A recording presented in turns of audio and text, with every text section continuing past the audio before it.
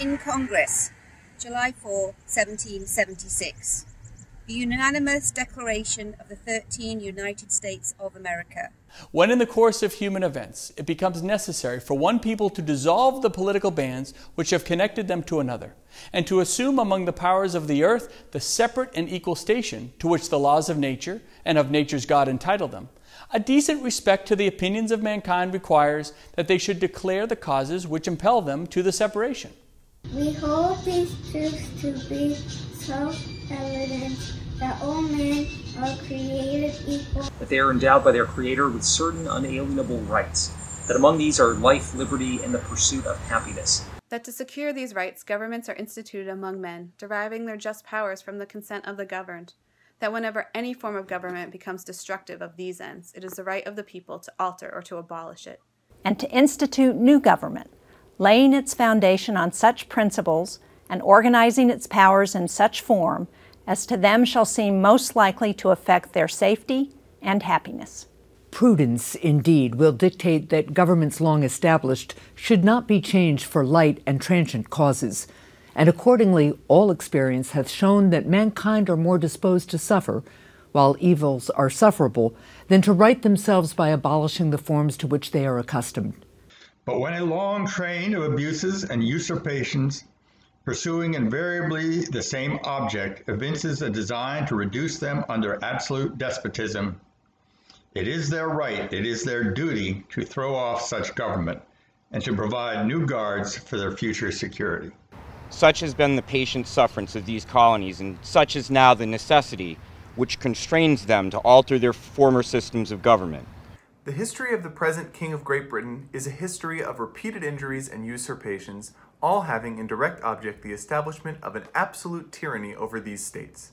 To prove this, let facts be submitted to a candid world. He has refused his assent to laws, the most wholesome and necessary for the public good.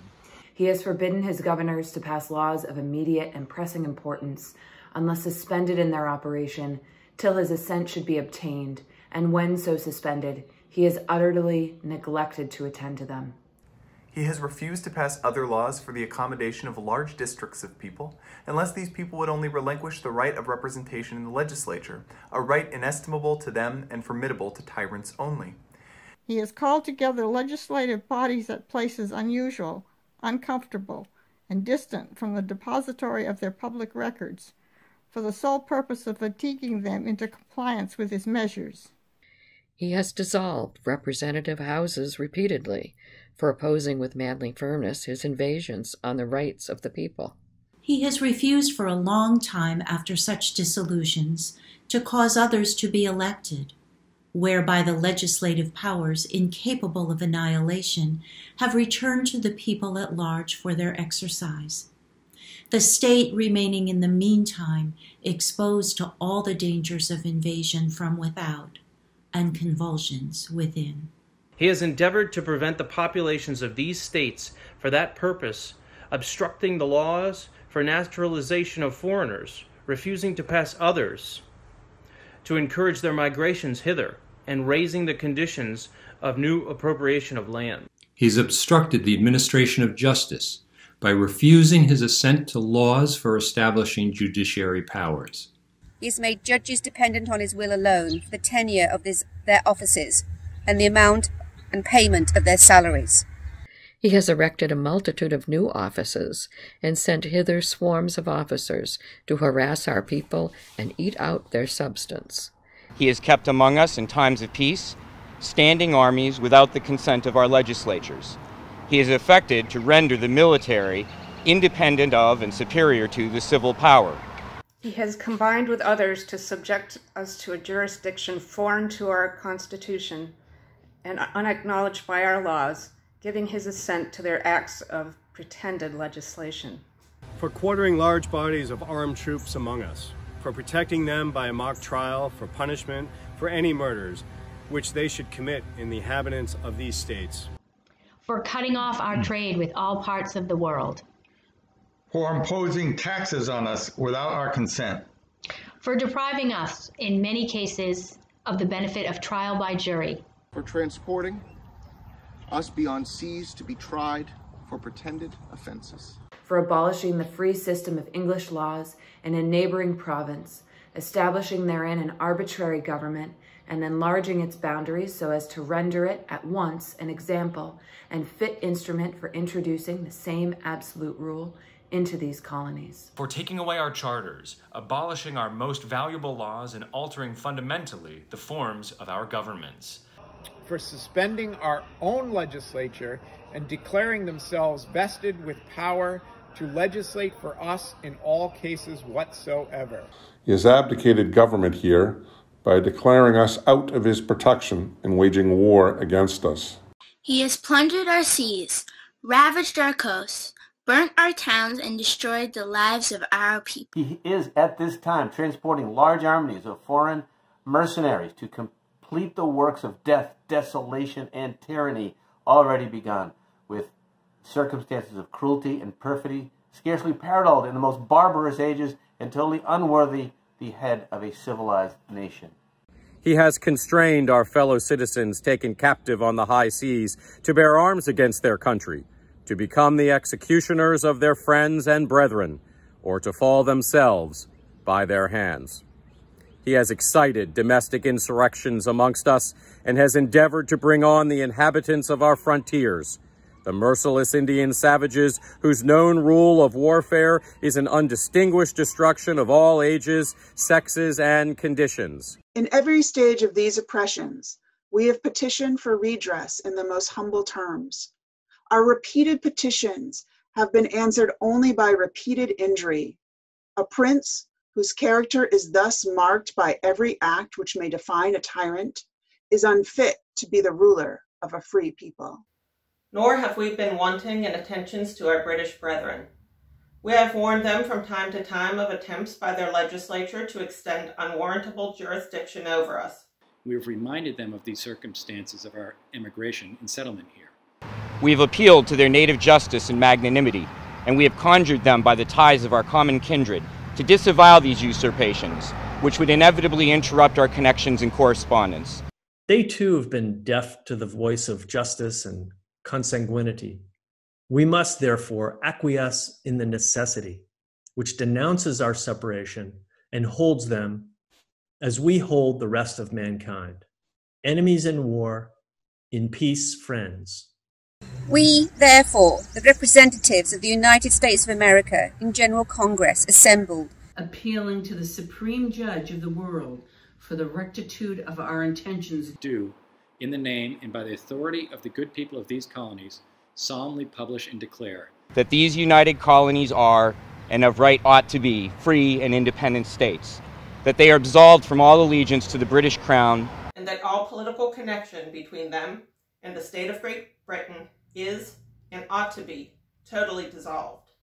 And that as free and independent states, they have full power to levy war, conclude peace, contract alliances, establish commerce, and to do all other acts and things which independent states may of right do. For the support of this declaration, with a firm reliance on the protection of divine providence, we mutually pledge to each other our lives, our fortunes, and our sacred honor.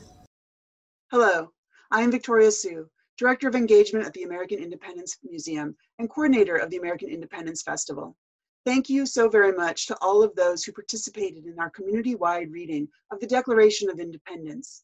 We at the American Independence Museum are honored that so many of our community engaged in those words, and we hope this reading has given both participants and viewers the opportunity to reflect on the promises made in the Declaration, promises that have yet to be fully met and for which we as a nation are still striving.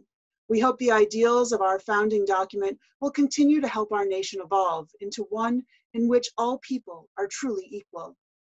We would also like to thank you for joining us for the reimagined American Independence Festival. Although it looked different this year, we were thrilled to be able to present elements of the festival in new and unique ways. Much of this content will be available for future viewing on our website. We hope you will check out anything you missed at independencemuseum.org, including the festival scavenger hunt and our special exhibit on commemoration. Even though the two-week festival celebration is concluding, We plan to keep celebrating all season long. In the coming months, we will be announcing more festival programs for you to engage with throughout the fall. We hope this will include opportunities to present the traditional artisans and the reenactment groups through a variety of mediums. Please stay tuned for updates on our website and Facebook page. The festival would not have been made possible without the generous support of our presenting sponsor, Newburyport Bank. Their community support is so very appreciated, and we hope you will join them by considering a donation to the American Independence Museum. All donations go to support our programs and future festivals.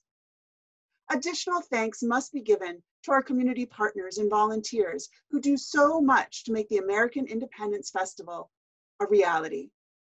They are Exeter TV, Exeter Parks and Recreation, the Festival Committee, Ruffner Real Estate, American Independence Museum Board of Governors, the Society of the Cincinnati and the State of New Hampshire, the staff and interns of the American Independence Museum, all festival participants and presenters, and the volunteers and members of the American Independence Museum. You will, we hope you will join us for the remainder of the 2020 season, which will include virtual and outdoor tours, online summer camp that begins next week, History Matters segments and Revolutionary Storytime on YouTube, additional festival programming, and much more. I would like to close this portion of the reimagined 30th American Independence Festival with my deepest appreciation and a few words by George Washington as portrayed by reenactor Norm Miner. I truly Thank you.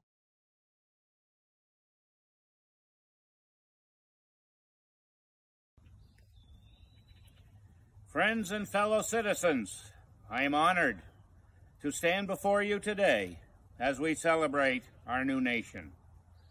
The love of liberty, so interwoven with every ligament of your hearts, is confirmed and fortified by your attendance today.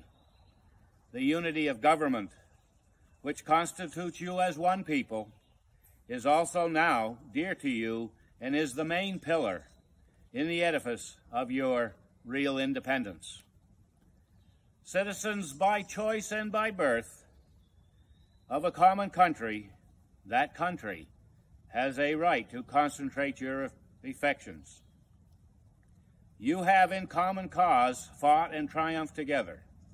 The independence and liberty you possess for the work was are the work of joint councils and joint efforts, of common dangers, sufferings, and successes. The efficacy and permanence of your union, a government for the whole, is indispensable. Sensible to this momentous truth, you have improved upon your first essay by the adoption of a constitution better calculated for an intimate union and management of your common concerns. I carry to you today the hope that my country will never cease to view this union and its liberty with upright zeal, to support this union with fondness and fervent love. My fellow citizens, I urge you to support this free government through all of our mutual cares, labors, and dangers. Thank you all for this opportunity.